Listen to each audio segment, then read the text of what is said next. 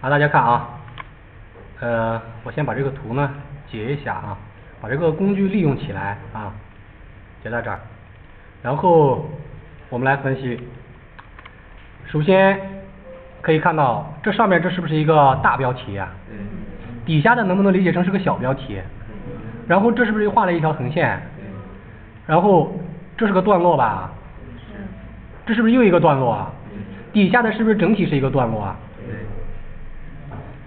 大标题咱是不是可以用 H 一？小标题可不可以用 H 五或者 H 六啊？这个横线是不是 HR？这个段落是不是 P 标签 P 标签，然后再一个 P 标签？不难吧？然后我不是把文字发给大家了是吧？咱把这个文字呢，我给它复制，然后咱在这儿呢，Ctrl N 新建一个文件，然后把文字咱给它粘在这儿啊，粘贴在这儿。接下来的话，看一下最上面呢是一个大标题，那么咱们是不是就可以 H 一，然后斜杠 H 一结束，是吧？然后底下这个呢？哎，先别底下了，咱们给这儿呢保存了啊，先保存，先看一眼。大标题是不是就出来了？哎，接下来小标题啊，小标题从这儿开始，咱们 H 六，然后在 H 六结束，是吧？Ctrl S 保存，然后呢再打开浏览器刷新。小标题是不是也有了呀？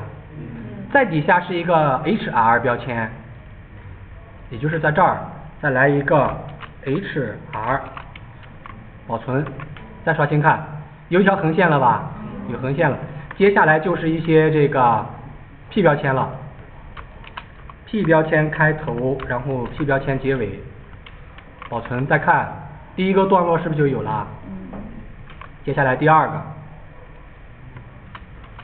P 标签开头，P 标签结尾，再看第二个段落也有了，是吧？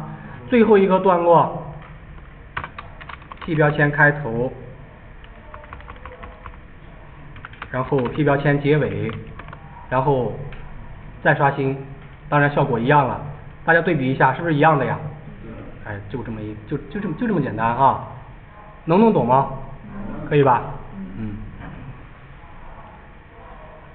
这是呃咱们说的这样一个小案例啊，前面呢把咱们前面的用起来哈。